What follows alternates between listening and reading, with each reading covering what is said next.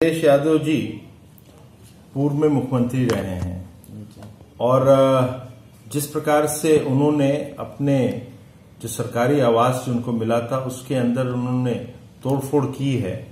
और साथ में उसके बारे में प्रेस कॉन्फ्रेंस करी तो चोरी भी और सीना चोरी भी उन्होंने करी। और ये क्योंकि गवर्नर साहब का की चिट्ठी थी, उसके आधार पर इसके इंस्पेक्शन करवाई गई और रिपोर्ट तैयार करी गई है। सरकार को जो करना है या कानून को जो करना है, वो करेंगे। मगर एक बात ज़रूर साफ़ हो जाती है कि बहुत चीज़ें उन्होंने निर्माण किया जिसमें राज्य संपत्ति विभाग से उन्होंने अनुमति नहीं ली है। अब उसका भी एक कानून है। कानून के तहत जो भी होना करना होगा, वो किया जाएगा। मगर अखिलेश जी को जवाब देना चाहिए कि आपने इतने आरोप लगाए हम पे, उस पर राजनीति करने लगे। तो क्या ये सही नहीं है कि चोर के दाढ़ी में तिनका था?